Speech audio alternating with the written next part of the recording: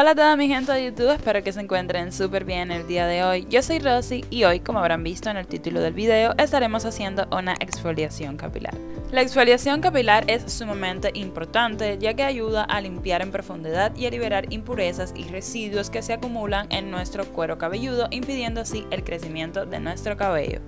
Para ello estaremos utilizando el aloe vera, que es la sábila. Yo como tal no tenía la penca de sábila y lo que tenía era esta mascarilla. Pero si tienen la planta como tal será muchísimo mejor.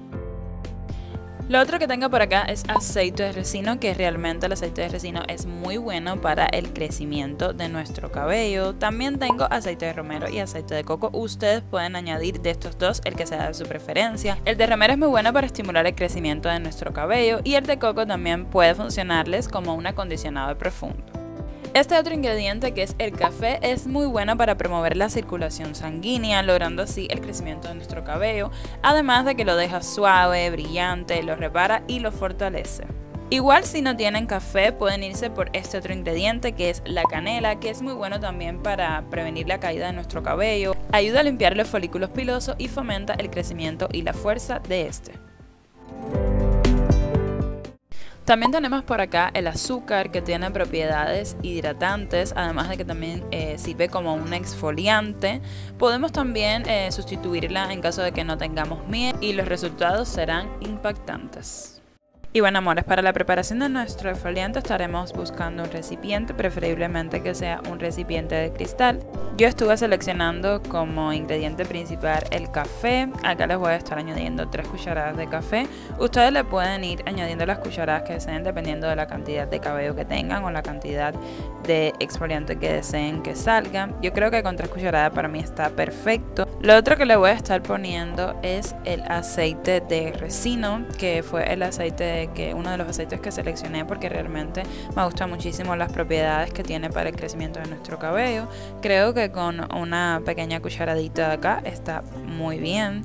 Para revolver eh, pueden buscar una cucharita de plástico porque esto va a hacer que no aplaste como estas bolitas que son como tal para esfoliar nuestro cuero cabelludo. Entre estos dos aceites estuve seleccionando el de coco que me encanta muchísimo para como tal para el cabello.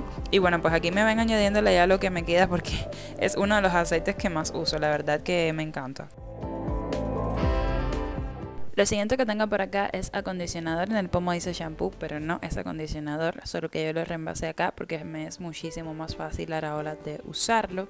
Y pues voy a estar poniendo por lo menos una o dos cucharadas de acondicionador. Esto les va a servir para darle consistencia a la mezcla y también para que cuando se lo pongan directamente al cabello no les eh, raye o no les vaya a hacer alguna raspadura o les vaya a dañar el cuero cabelludo.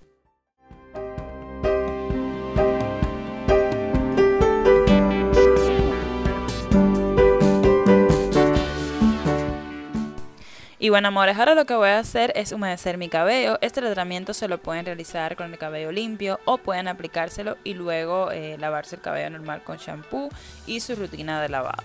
Humedecer el cabello es bien importante, en este caso yo tengo un cabello tipo 4, que es un cabello afro, por lo que el volumen no me deja muy bien aplicar este tratamiento y humedecerlo me ayuda muchísimo, además de que como les dije antes, evita dañar o lastimar su cuero cabelludo.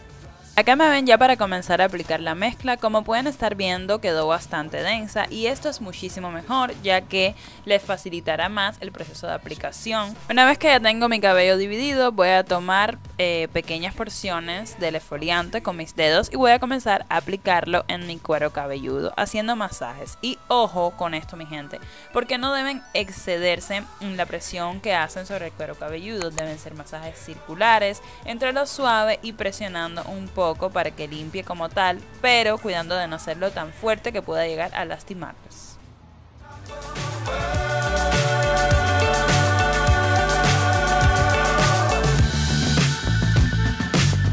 Dangerous times don't fly too high.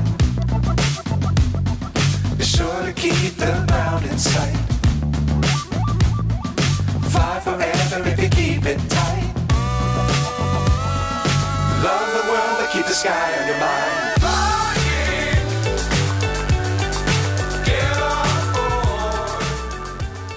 Y bueno, amores, por acá me ven con este shampoo de la marca Dixon, que es un shampoo que contiene sulfatos, no contiene siliconas, pero contiene sulfatos.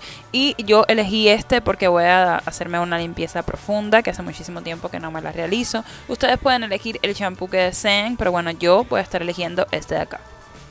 Les sigue organizar y recoger todo el desmadre que ha dejado este esfoliante de café. Es decir, que es muy bueno, pero eso sí, deja muchísimo reguero.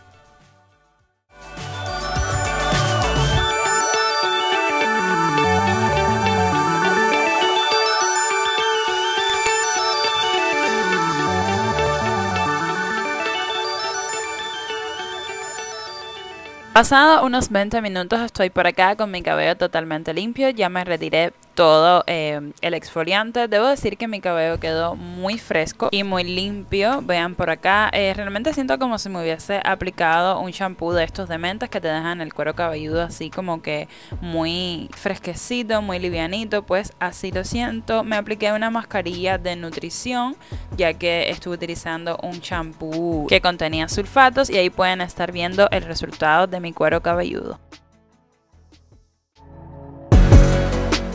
Y bueno amores, hasta aquí el video de hoy, espero que les haya gustado, a mí realmente me encantó el resultado final de mi cabello. Este tratamiento se lo pueden realizar una vez al mes o cada 15 días, no deben abusar de este tratamiento, pero realmente cuando se lo hagan los resultados van a ser increíbles porque a mí me fascinaron. Recuerden suscribirse al canal, activar la campanita de notificaciones para que YouTube lo avise cuando esté subiendo un nuevo video. Los quiero.